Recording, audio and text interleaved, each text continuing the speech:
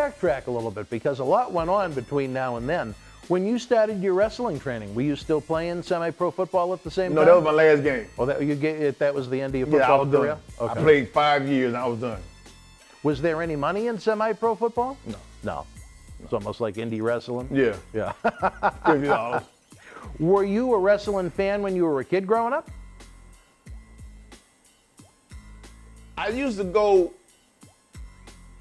Okay, I was born in North Carolina, Greensboro. But I moved to Atlanta. I'm sorry, to Florida when I was 13. Then I was 15. I moved to Atlanta. So I would go to the shows sometimes. And my my favorite wrestler was Dusty Rhodes. was Dusty Rhodes. Well, you and him have something in common. you shared a certain fruit together.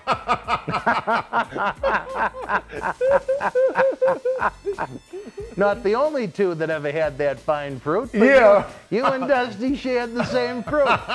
the fruits of our labor, baby. so, and I told him, I told Dusty about it. He was like, get out. I used to wear the elbow pad. and the whole nine. And he thought that shit was funny as fuck. I was like, dude, I'm serious. Stop laughing. I'm serious. He was like, okay. So, I would go and see NWA Mid Atlantic in North Carolina. And I would go, not a lot. I will watch it sometimes, not a lot. Mm-hmm. But Dusty became my favorite. So quite naturally, when we started working with ECW and he came through, we connected. Mm-hmm. You know what I mean? Yep. And he was like, it was a promo that he did one time. I don't forget what it was now. Somebody had him in the claw, and he got color. And I was like, no. Now let me try to get this understanding. He squeezed your head until you started bleeding. Like he was a piece of fruit. Yeah. And he started laughing. He was like, Jack, that was funny, what? I said, I swear to God it was. I said, he squeezed your head to do about to pop. And he was like, he started laughing. So he went out to the ring and cut that same promo that he did when I was a kid. And we became like that. Really? Became Yeah. tight with him? Yeah. Yeah. And he would always ask me, he was like, New Jack, give me some of your videotapes that you couldn't promote. He said, my son Cody is one of your biggest fans. Really? And Cody was a kid then. Oh yeah, yeah. During the ECW days? Yeah, days. he was a kid. And I would give him my tape. And I asked him one day, I said, Duh, you sure these tapes ain't for you? he was like, no. I said, you sure? He was like, no, they're not for me, they're for my son. I said, all right. So I gave him, I, I was just fucking with him. You know what I mean?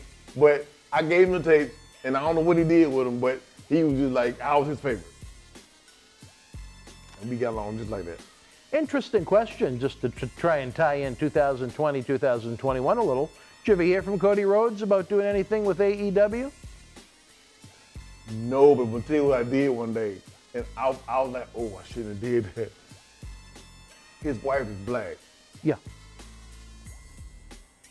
I didn't know that was his wife. Oh. I was on Twitter. I said, Cody Rhodes got a black girlfriend. I said, I know Dusty is doing cartwheels in his grave. and everybody attacked me. Everybody came on Twitter, New Jack, you ain't shit. And I was like, what? And I didn't know. I, I thought it was his girlfriend. It's his wife. But I never talked to Dusty, but I did talk to some people. The World Wrestling Federation was live at the Spokane Coliseum in Spokane, Washington, Sunday, July the 6th, 1986. In the opening contest, Bret Hart beat Siva Afi. Billy Jack Haynes with the win over Tiger Chung Lee. Cowboy Lang defeated Lord Littlebrook. Hercules victorious over Leaping Lanny Poffo.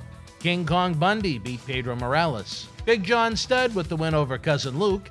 And in the main event, the WWF Tag Team Champions, the British Bulldogs, retain the titles over the Dream Team. If you were in Spokane Live, share your memories in the comment section below. Use the links in the description box to keep Wrestling Legends working in our eBay store and on our world renowned Patreon streaming service so we can bring you more interactive superstar shoot interviews to relive the good old days of professional wrestling. Check it out.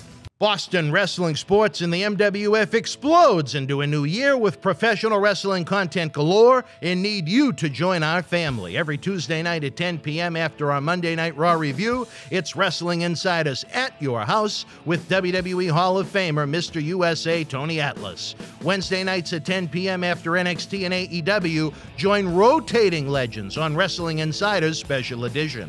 Every Thursday night at 10 p.m. after our NXT and Dynamite review, it's Marty Jannetty's No Holds Barred Sex, Drugs, and Rock and Roll Journey on Wrestling Insiders Party with Marty. Friday night after SmackDown, don't miss John Cena Sr.'s Wrestling Insiders Fabulous Fridays. Plus, look for classic clips, history videos, bonus live episodes, pay per view watch alongs, and more. For less than a cup of coffee at Starbucks, get early ad free access to our Wrestling Insider talk shows, our acclaimed studio shoot interview DVD library, and help keep wrestling legends working during the worst of times